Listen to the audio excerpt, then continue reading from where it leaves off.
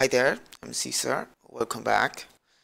Uh, in, the, in the previous video, we implemented a push model for our graph, our dependency graph. So we have several tests here, and if we run that, everything is passing, or it's good. So in this video, we will do a little bit of cleanup and oops, and yeah, and basically add support for multiple models so that way in the future we'll be able to implement a pull or maybe an hybrid. I don't know. But right now I feel like the push model is too uh, too integrated into the graph. So we have to abstract that a little bit. Um, so in order to do that uh, well let me first comment out most tests. I basically I don't want that much uh, login so it's easier for me to work with this.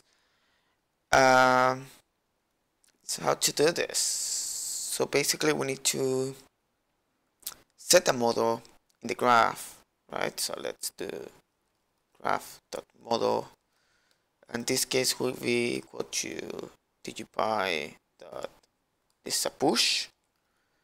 So if we do that this should pass right and this test should be fine. So let me create well let me duplicate this for now.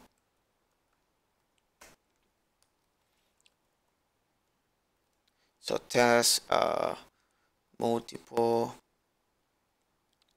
model or I don't know model abstraction. I don't know. But basically if we don't set the model to push so let's say this None this should fail. Actually this the value should be None. Like we don't want any evaluation. So let's do this that is None. Uh, so that's pretty much it. So if we run this uh, we have an error um, basically is 5 is not None. We are always evaluating and getting 5 so we have to fix that. Uh, so let's do that. Uh, so our graph now support a model. So self that model. Is equal to None to whatever you set over there. Uh, so every node created in the graph have that model by default, I guess. So note that model is equal to self that model. And now we can use this to change the behavior of the nodes. So let's use that. And the only, let me take a look.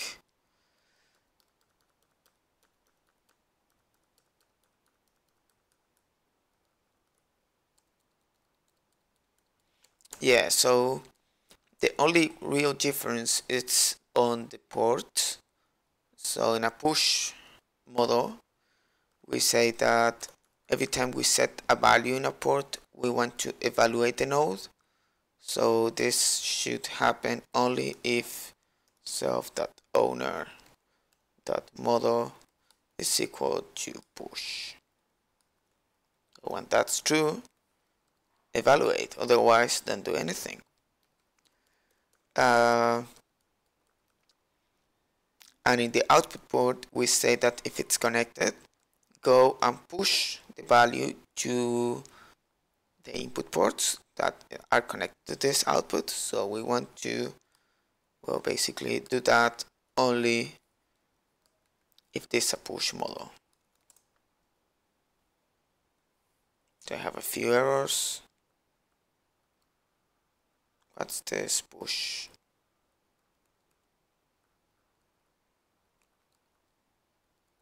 Did they call? Oh, so push would be equal to something zero. Okay. So we run that. Uh, we basically have uh, the behavior of the graph. So that's it for now. Uh, we have a, a, bit of time, so let me do something else. Uh, first, let's uncomment all the other tests. Uh, make sure that everything is running fine. Everything is fine. So yeah, uh, let's take a look at this login uh, when we run the test. And right now, yeah, we know which node is evaluating, but we don't have enough information. So let's add a few debug uh, messages there. So let's, yeah, unroll this for loop. I think that's a good idea. So this would be zero. Uh, I don't care about that. For P in input port values.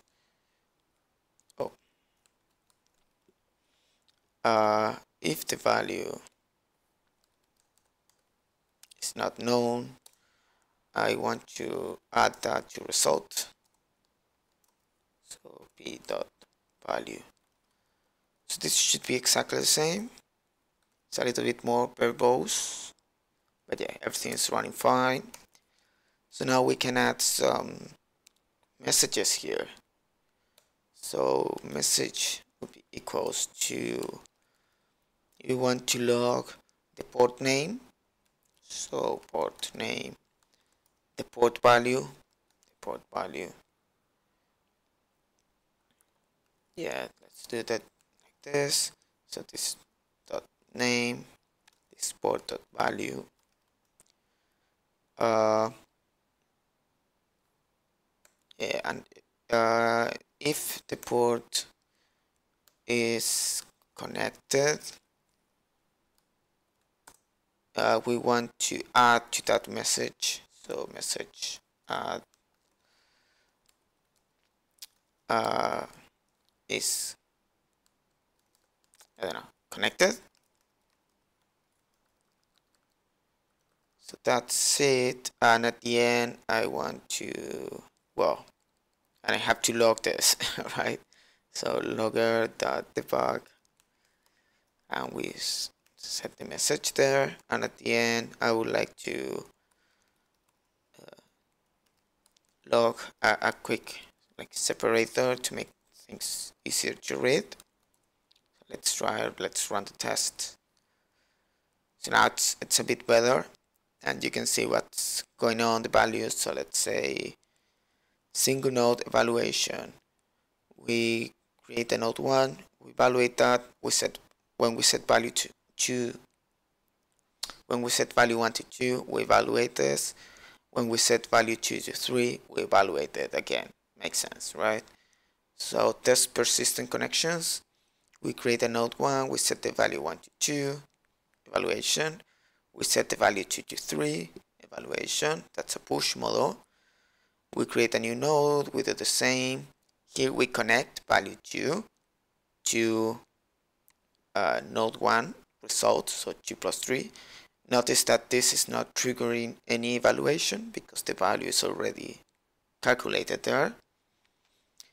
And then we change in node 1 value 1 to 10 instead of 2 and that triggers the evaluation of node 2 right this is connected and this is 13 so this is useful it's easy to see what well it's easier to see what's going on uh, the graph. So yeah, I think we're in, good shape to start implementing different models. Um, so that's it. In the next video, we'll talk about the pull model, what's that about, how it works, and hopefully, hopefully implement that. So see you in the next one. Bye bye.